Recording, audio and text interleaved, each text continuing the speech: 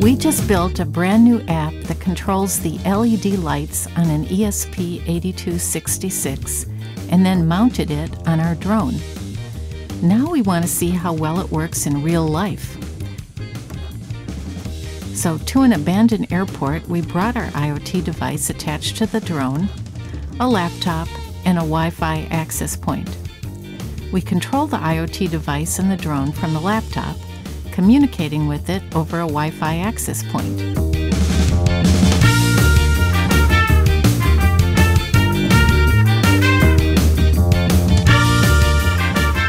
As we suspected, the packet loss increases as the drone gets further away.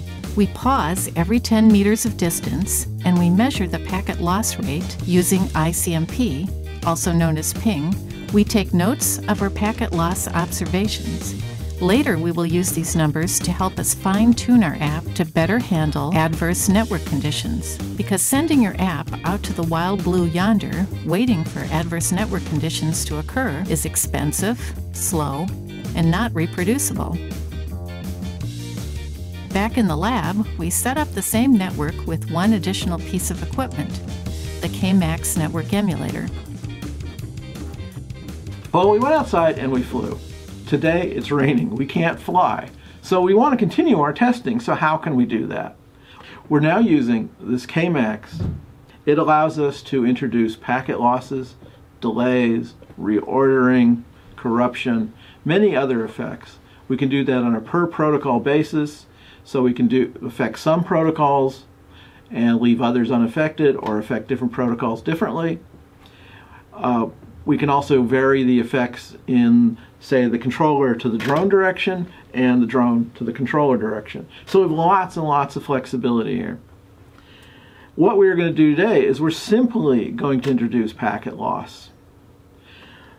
And what we will do is we have our simple application here and our web server here on the drone, which turns on and off the LEDs. And we're going to impose the packet loss rates that we measured as we were out flying. So in our tests, we're going to start with the drone being effectively near our access point. And we'll have a loss, we'll dial in a loss rate of zero. Then we'll fly the drone in a virtual sense out 10 meters and we'll dial in the packet loss rate that we experienced at 10 meters. And we'll keep moving out every 10 meters and we'll increase the packet loss rate to what we observed out there in the field. And we'll watch how our application degrades at those various distances.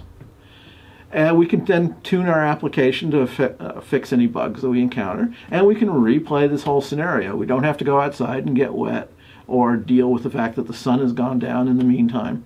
So it makes it very nice and convenient. For our app, we used a paired value table to model our packet loss, but for more complex simulations, we could have used equations, statistical distributions, or simple pulse models. This allows for a more accurate model. And then using our model, we optimized our app by coding shorter keyword tags like F, V, rather than flying vector. And we tried out various compression techniques on our JSON data.